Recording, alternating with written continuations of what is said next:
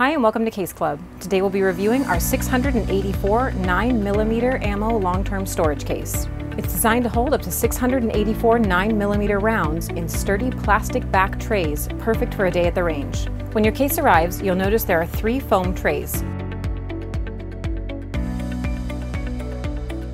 Each of the sturdy foam trays have a hard plastic bottom for strength and stability when the trays are fully loaded. Once fully loaded, the case will hold 684 9mm rounds. In addition to storing the trays in the case, you can also remove them from the case for easy access while at the range. Moving on to moisture control, we've included one reusable hydroabsorbent silica gel canister to help prevent rust.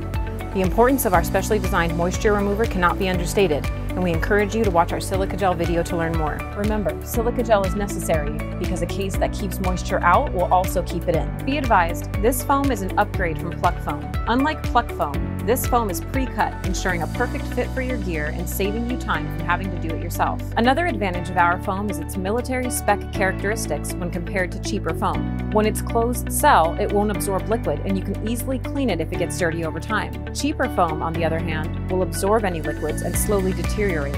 Also, it provides adequate cushion for your gear, but won't tear like the cheaper foam.